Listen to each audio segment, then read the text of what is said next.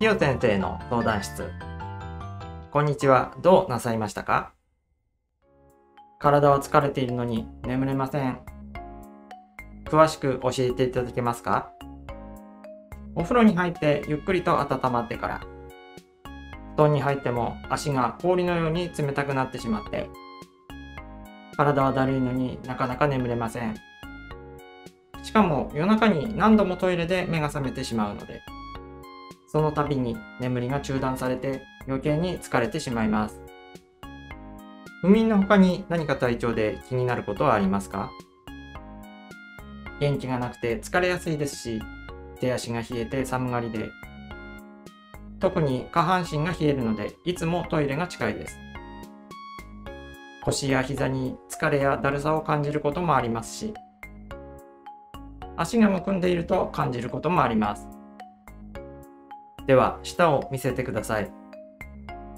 舌の色の赤みが淡くて白っぽい感じですね。眠れないのは辛いですよね。睡眠に入るには体の潤いによって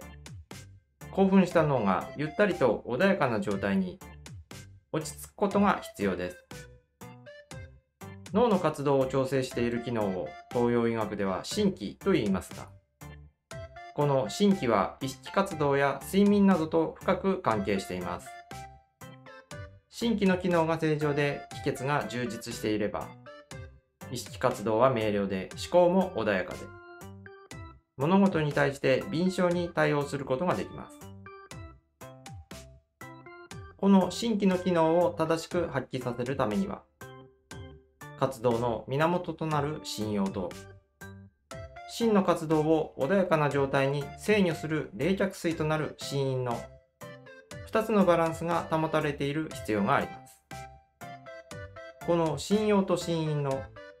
陰陽のバランスから睡眠について考えてみますと、信用が不活化することで脳の活動が盛んになるため、目が覚めて活動できるようになり、心因が充実することで脳が穏やかになるため、眠りにつくことができるようになります。これらのことから不眠について考えますと、信用が過剰になりすぎて死因が不足すると、脳が穏やかになれないため眠りにつくことができなくなります。そのため手足が冷えて寒がりの方のように、体が冷えた状態である陽気になっていると、不眠になることがあります。陽気になるとどうして不眠になるのですか？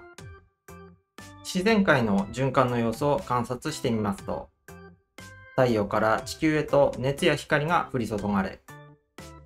地球上の様々な活動の原動力となっていますが、そのうちの熱は主に海などの水に蓄えられて、地球の温度を保つ働きを担っています。そして水が蒸発して雲ができることで、太陽からの強い光や熱を遮り、適度な涼しさをもたらします。これを人間の体で見てみますと、太陽である神気から体の一番深い部分である人用に熱が受け渡されることで体全体の熱源が作られています。そして体全体の潤いの元となる人因が人用によって温められて軽くなることで体の上の方へと上昇していき心気を穏やかにする潤いとなることで、ちょうど太陽からの強い熱や光を遮っていた雲のようになって、心気が過剰に働きすぎるのを制御しています。このように体の中の水分は体の深部の熱源によって温められて軽くなることで頭の方へと上昇していき、その潤いが信用の活動を適度に制御しています。そのため熱源が弱すぎると水を上昇させられなくなるため信用を穏やかにする潤いが不足してしまうので脳の活動が穏やかにならないので不眠になります。特に頭を使う割に体を鍛えることが少なくて冷たい飲食物を摂りすぎるような生活が続いていると下半身の筋力は弱くなり熱源が弱ってしまうために体の上部に熱が集中してしまい眠れなくなります。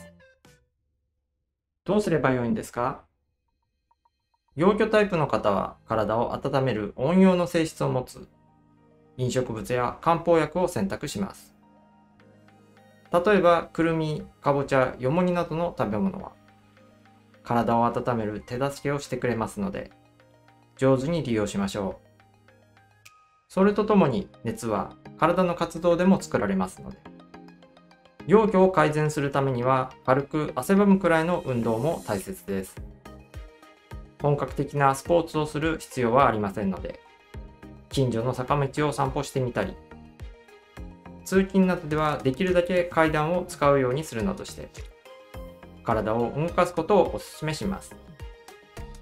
体を動かすことで強制的に気血が巡るようになれば、それだけ酸素は体中に行き渡り、細胞の活動も活発になって熱が生じてきます。散歩などをすることで下半身に血流が集中すれば上部に偏ってしまった熱は降りてきてくれますしお腹への血液供給も促進されるため心も体もリラックスして眠りにつきやすくなります。ありがとう。試してみます。